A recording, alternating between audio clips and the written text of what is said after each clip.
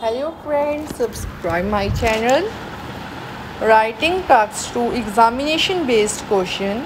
Nowadays for many people the internet is replacing regular books.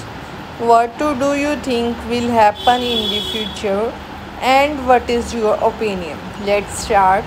According to some people internet and connected devices are taking a place of the traditional books this essay will discuss what could be expected for the future and also provide the argument to support why I believe this is a positive change.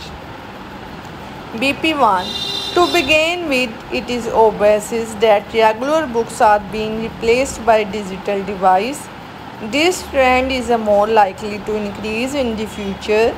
This is because Many people believe those electronic devices are the more appropriate for the students since there is no need to carry lot of books anymore.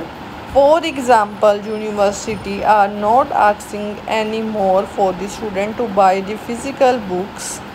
Instead, they require that graduate have the laptop and access to the internet.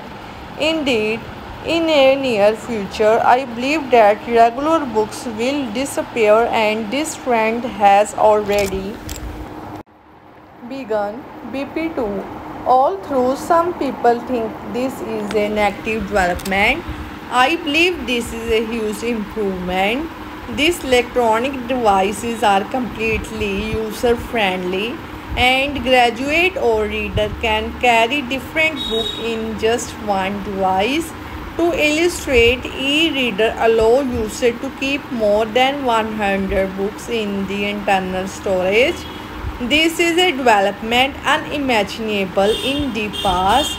In addition, e-reader and laptop make the price of the books drop because there is a no necessity to spend a lot of money during the printing process as a result more people have access to information to sum up, digital devices are the new positive trend. It will make physical books disappear.